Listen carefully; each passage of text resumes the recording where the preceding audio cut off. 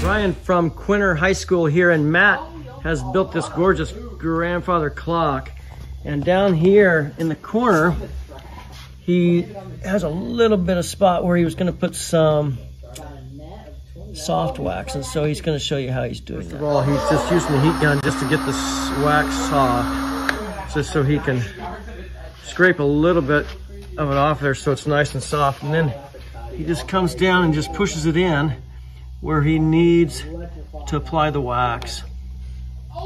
Then he takes just a rag and just rubs it off. And you could scrape it off first to get the majority of it off.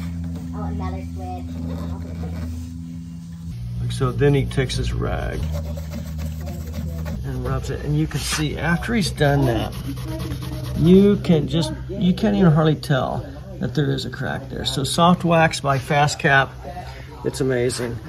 And then you can see the clock that he's put together is just gorgeous. Nice job, Matt.